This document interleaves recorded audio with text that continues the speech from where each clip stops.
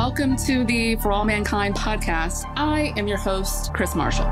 We're going to talk about the show. We're going to meet some real life astronauts and chat with some of my favorite folks from the show. Super excited. Here we go. Let's go make history.